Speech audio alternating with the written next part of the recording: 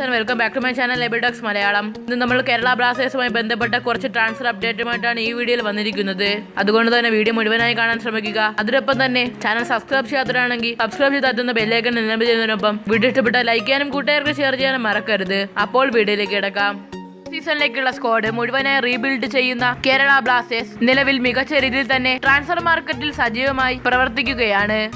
Come തന്നെ പരിശീലകന്റെ കാര്യത്തിലായാലും കളിക്കാരുടെ കാര്യത്തിലായാലും ചെറുതും വലുതുമായിട്ടുള്ള മാറ്റങ്ങൾ നടന്നു പോരുകയാണ്.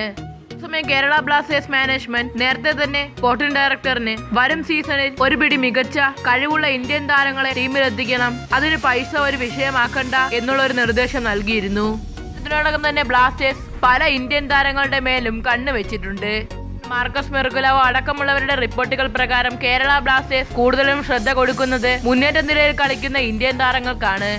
സ്പോർട്സ് ജേർണലിസ്റ്റ് ആയ ദേവപ്രിയ ദേവന്റെ റിപ്പോർട്ടുകൾ പ്രകാരം കേരള ബ്ലാസ്റ്റേഴ്സ് കോമൽ തട്ടാൽ റഹീം അലി അനികേത് ജാദവ് വിദ്യാസാഗർ സിംഗ് എന്നിവർക്ക് ഓഫർ നൽകിയിട്ടുണ്ട് എന്നുള്ള റൂമറുകളാണ് അദ്ദേഹത്തിന് ലഭിക്കുന്നതെന്നാണ് അദ്ദേഹത്തിന്റെ റിപ്പോർട്ട്.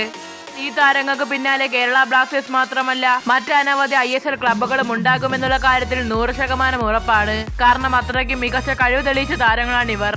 വിദ്യാസാഗർ സിംഗ് കഴിഞ്ഞ സീസൺ ഐ ലീഗിൽ ഗോൾഡൻ ബൂട്ട് ജേതാവായ ഇന്ത്യൻ താരമാണ്. അതേസമയം കോമൽ തട്ടാലിന്റെ കാര്യത്തിലോട്ട് വരികയാണെങ്കിൽ രണ്ടായിരത്തി പതിനേഴ് വേൾഡ് കപ്പിൽ മികച്ച പെർഫോമൻസ് പുറത്തെടുത്ത് വിദേശത്തു നിന്ന് അടക്കം പ്രശംസ ഏറ്റുപറ്റിയ ഈ താരത്തിന് കഴിഞ്ഞ മൂന്ന് സീസണുകളിലായി എ ടി കെയിൽ പറയത്തക്ക അവസരം ലഭിച്ചിരുന്നില്ല.